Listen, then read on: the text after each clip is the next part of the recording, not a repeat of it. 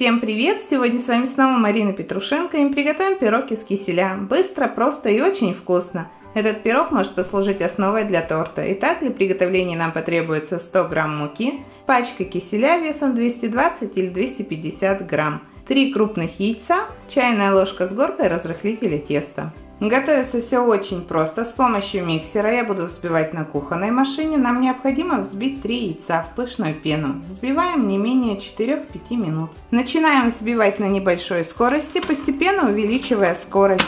Итак, через 5 минут у меня вот что получилось. Достаточно пышная масса.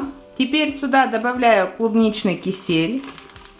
И уже на маленькой скорости просто перемешиваю. В муку добавляем чайную ложку разрыхлителя теста, слегка перемешиваем. И муку с разрыхлителем просеиваем в яичную массу. Вмешиваем муку обязательно лопаточкой уже. Все перемешиваем в одном направлении, снизу вверх, как бы приподнимая. Итак, вот такое тесто должно получиться. Будем выпекать. Чашу мультиварки смазываем сливочным маслом, дно и бока. Выливаем тесто. Закрываем крышку мультиварки. Готовить будем на режиме выпечка 1 час. Нажимаем старт. Итак, давайте посмотрим, что у нас получилось. Вот такой пирог. Отключаем подогрев. Через 5 минут будем доставать.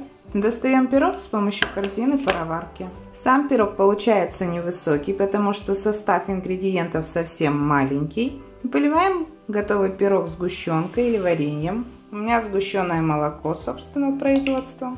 Сахар мы не добавляли, то есть достаточно сахара, который содержится в киселе. Смазываем.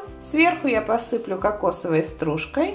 Можно еще раз сказать, украсить вареньем, глазурью, ганашом. Вот так выглядит пирог вблизи, в разрезе. Как вы видите, он достаточно воздушный, пористый, благодаря крахмалу, который содержится в киселе.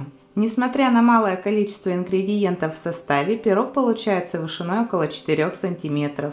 Благодаря тому, что мы сверху посыпали его кокосовой стружкой, пирог получился очень вкусным и ароматным. Огромное всем спасибо за лайки и комментарии. Подписывайтесь на канал. Нажимайте колокольчик, чтобы первыми получать уведомления о новых рецептах. Всем приятного чаепития и до новых встреч!